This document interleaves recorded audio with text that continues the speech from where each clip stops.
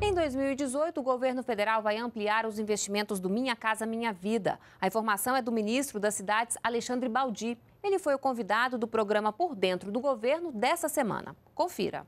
O governo federal, através de determinação do presidente Michel Temer, que voltou a investir nos programas do Minha Casa Minha Vida, regularizando todos os pagamentos. Não há atrasos por parte do programa Minha Casa Minha Vida hoje com as empresas, com aqueles que constroem as habitações por todo o Brasil e, fundamentalmente, voltou-se a contratar, especialmente para a população que mais precisa do programa, que é a população de baixa renda, com renda familiar em até R$ 1.800, que neste ano já foram disponibilizados 100 mil unidades. Você imagina que ficamos dois anos com o programa suspendido nessa faixa da população que realmente mais precisa. E que neste ano já 100 mil unidades já foram colocadas nos sistemas de contratação e ao início de 2018 mais outras serão ainda disponibilizadas para que os investimentos em 2018 possam ser ampliados e o programa Minha Casa Minha Vida em todas as faixas consigam chegar a todos que efetivamente precisam.